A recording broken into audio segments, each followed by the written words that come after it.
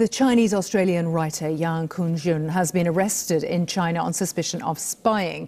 Mr. Yang has been detained without charge by Beijing since January. Australia has criticised the conditions under which he's being held, uh, prompting the Chinese government to warn Canberra against intervening in their judicial processes. Now, Mr. Yang's wife, Yuan Regen, uh, rejects the spying allegation. She says the family is devastated. It's had a huge impact. Everyone is shattered. I've lost about five kilograms. I've been diagnosed with depression by the hospital. His older sister is also broken and can't sleep or eat. The whole family has collapsed. They couldn't believe it.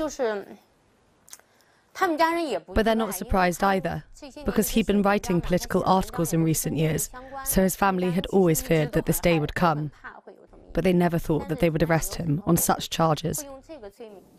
Our China media analyst Kerry Allen has been looking at the talk about this, and it is a subject for a lot of discussion.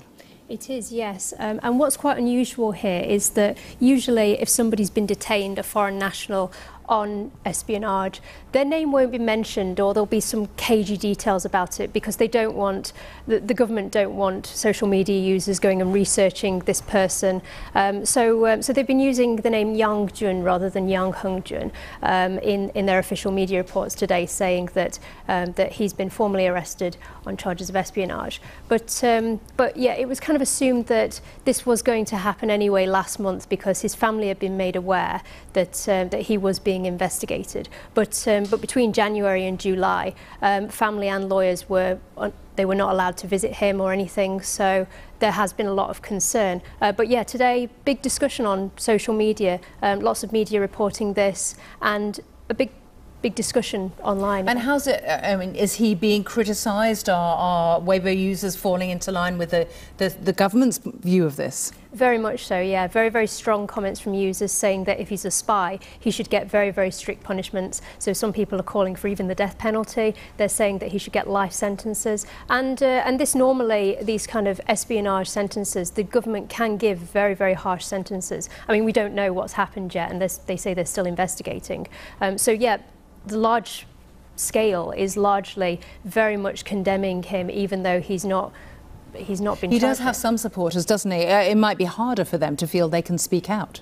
Yeah, well, one thing that's very unusual is that he still has a platform on Sina Weibo where he has hundreds of thousands of followers. I mean, it's not been active since January when he was um, when he was detained at uh, Guangzhou Airport. But uh, but some people calling him um, brother Yang and, uh, and very kind of nice terms towards him and saying that they're hoping that he's going to be allowed to be given a voice.